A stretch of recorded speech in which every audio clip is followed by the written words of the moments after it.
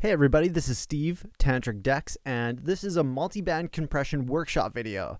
So we're going to really go through what how I use multi-band compression for a variety of ways to help tonally round your sounds and help get nice, clean, fat, punchy mixes as well as how I use it in the mastering stage. So first things first, we're going to take a look at traditional compression. compression. We're just going to look through all the different elements of the compressor so we're all on the same page about what I'm doing throughout the whole workshop.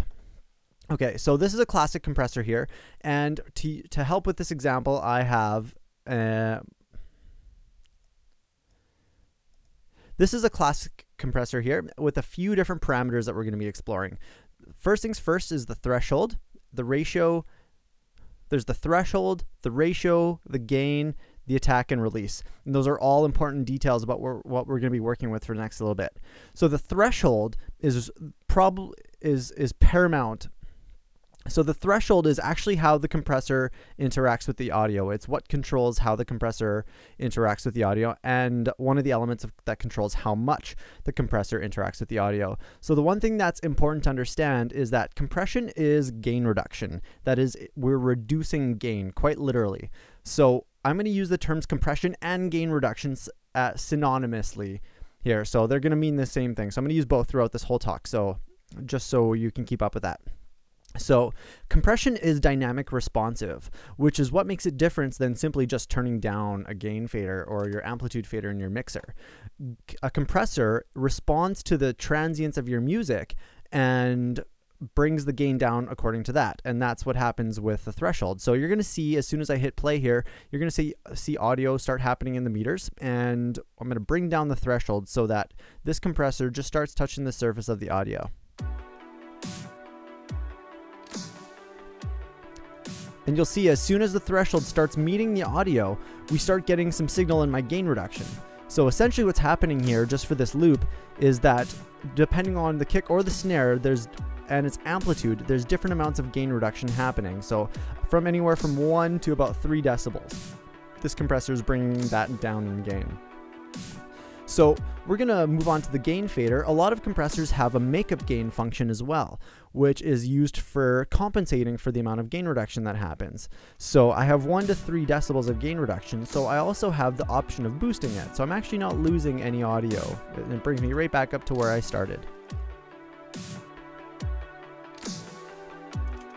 Now, one thing I recommend is that with auto gain, which means that the compressor itself has a built-in function that automatically brings it back up to zero decibels for you.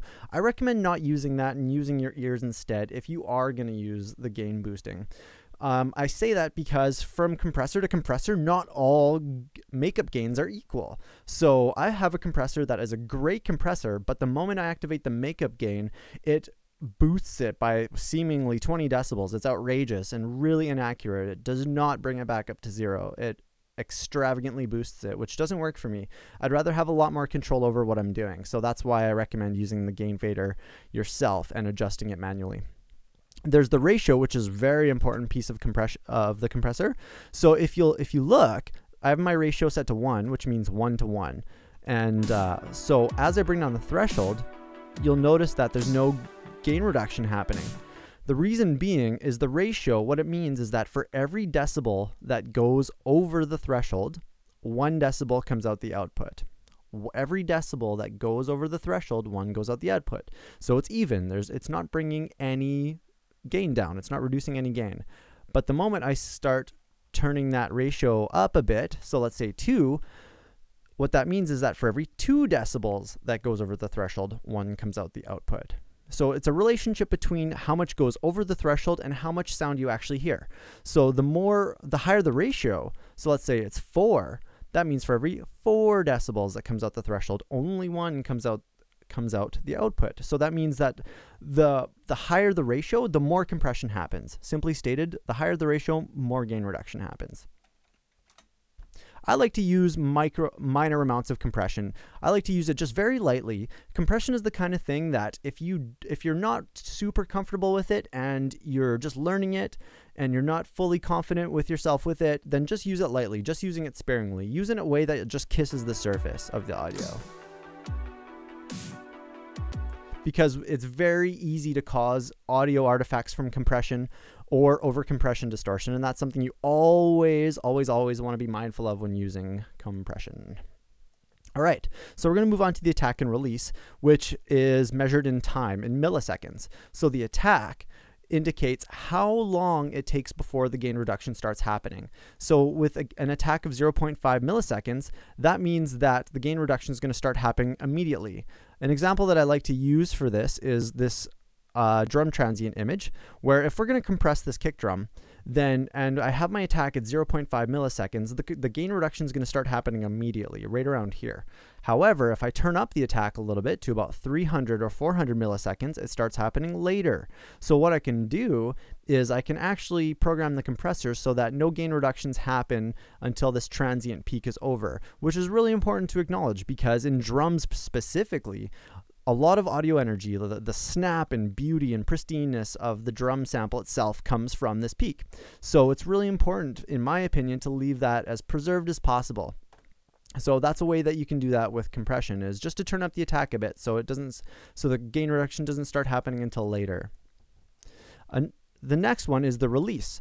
So if we, the release is the opposite of the attack. It's instead of how long it takes to kick in, it's how long it takes to kick out. So at, with a release of five milliseconds, it means that the compression, the gain reduction stops immediately after the audio signal, basically five milliseconds. However, if we turn that up a bit, it's a lot slower and can take two seconds or more, depending on the setting. So to, to illustrate that, we're going to take a look at this gain reduction meter here. So I'm just going to bring this threshold down a bit so you can see this needle jump a bit here. And see how fast and rigid those movements are? Watch what happens when we turn those up a bit. They get a little bit slower moving and kind of get develop this laziness to them.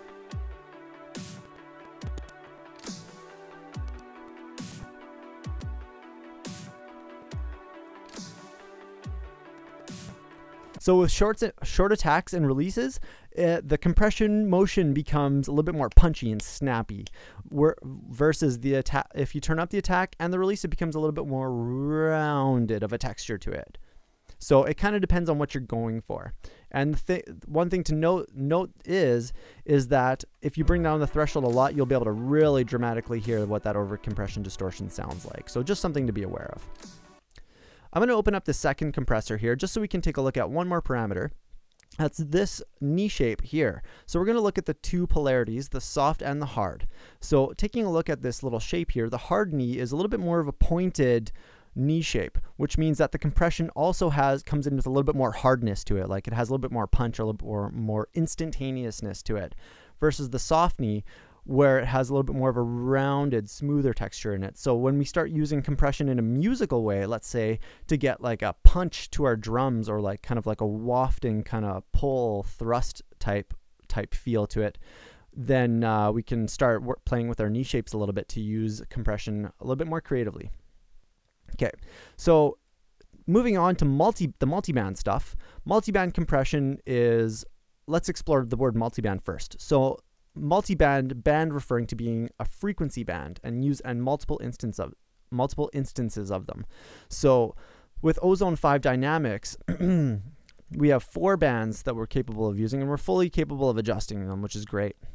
So basically we can really fine tune where we're reducing our gain from. So let's open up this instance of Ozone 5 Dynamics and we're going to listen to the meat and potatoes of this tune here, like the core core chunk of the main riff of this tune, just so we can really get a good understanding of what compressing each band differently really does to the sound.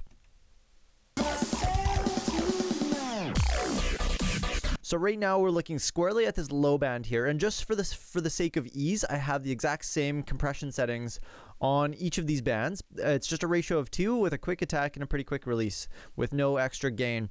So let's take a look at the low end. We're listening to this part of the tune that low that, that low end sub bass area. So what I'm going to do is just heavily compress it just so you can hear what we're actually doing when we compress each band differently. We've just done a whole bunch of gain reduction to this low end area here. So the sub bass and kick have pretty much dropped out.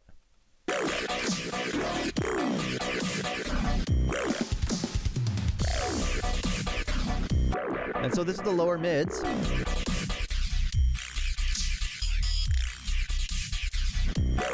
So essentially we're just reducing the gain of each frequency area individually.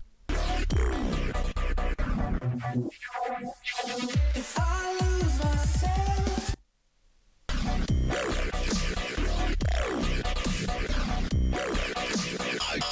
the low end right there. Anyways, so yeah, so it's just really fine-tuned compression or really fine-tuned gain reduction across the frequency spectrum. And this is helpful for us because it can help us really smooth out sounds that have uh, muddy low ends or too much audio energy in a certain part of the frequency spectrum. Like, for example, this sound that I've used here is a neurobass bass line that I've made. And I found after listening to it that it has sort of a shrillness in the top upper mids section, which happens only in different periods of the modulation. So let's take a listen to the sound.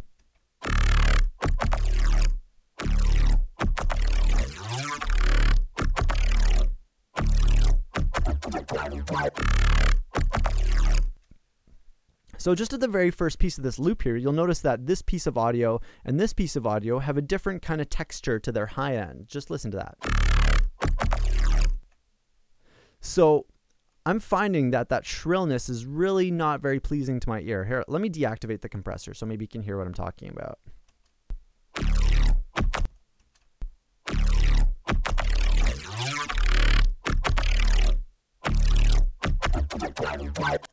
At high at high volume it's really evident that there's that there's something weird happening up there that tickles the ear in a kind of funny way. And and advanced audio musicians and and um, people who have really trained ears might notice it right away. However the average listener on the dance floor especially at high volume on a big sound system might get agitated and it's more of a subconscious thing. So the idea for music is for it to be really emotionally moving and the, one of the best ways to do that as a producer is to make sure that it, it is welcoming and inviting to the ear and not abrasive and invasive and really smooth and and uh, nicely rounded as as rounded as we can possibly get it. So this is the area of the spectrum that I'm really looking at here. So I'm just going to bring back up that threshold so it's just a dry signal. I've got it soloed by clicking this S button here so you can listen to it. So I'm finding there's a little bit of shrillness happening there. That just is just gr gross to me. It kind of makes me want to puke a little bit.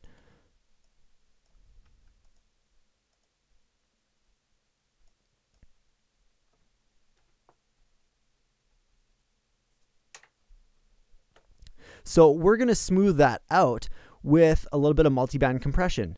Now, what I found when I use this EQ boost was that it start, it's happening around that 2.9 kilohertz area. Now let's take a look. Let's take. It's right around there that I hear it happening from. Now, a question that I get asked occasionally is why don't I just do an EQ cut, which is a great question. Now, the thing about an EQ cut, it works and it cleans out that frequency, but remember that high-end texture doesn't happen through this whole loop, only for certain parts of it. So if I'm committing to this EQ cut, it's going to be there for the whole sound unless I automate it, which is a lot of unnecessary work, especially if I have to copy that automation over and over and over again for the whole track. So you can always automate the EQ and it works, but there's a better way. That's why I like multi-band compression, is because it's dynamic responsive. So I know that just by bringing down this threshold, here, let's take a look at this here. If I bring down the threshold, it's only going to compress it or bring down the gain if it that audio energy crosses the threshold line. So I can set that so certain parts of the sound don't cross that line, and where it gets really brash and harsh, it does cross that line.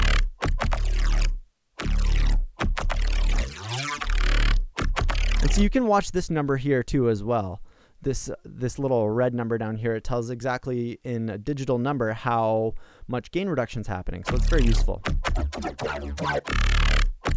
See, at some points it gets to 1.8 decibels, so near, nearly 2 decibels. In other parts of the sound, only 1.6. So I'm just going to bring this down a little bit more until I feel like that part of the frequency spectrum has been toned down enough for it to be nice to listen to in the ears.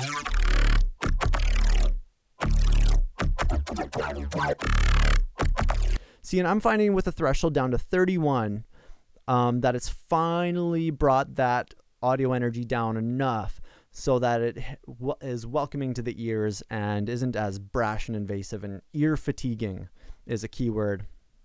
So just to review my compression settings here, I have my ratio of 2 and a quick attack and a pretty quick release as well. So it's just pretty standard compression settings. It's actually the default setting that comes with Ozone 5's dynamics, which is great and works just fine. That's how I tonally round this bass line to be slightly more ear pleasing.